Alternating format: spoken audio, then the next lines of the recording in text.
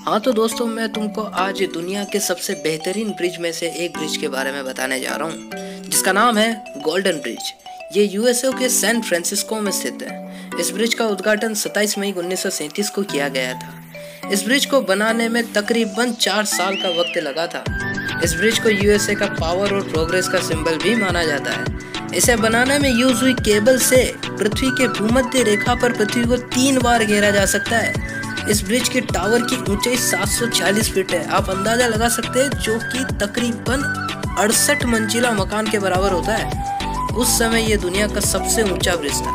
और आज पिचासी साल बाद भी यह सबसे ऊँचे ब्रिज के लिस्ट में तेरहवें स्थान पर आता है। यह दुनिया का पहला ब्रिज था जो कि rotating drum mixer concrete trucks की मदद से बना था। इसे अंतर्राष्ट्रीय नारंगी रंग से रंगने के कारण इसका नाम स्वर्णिम द्वार भी कहा जाता है।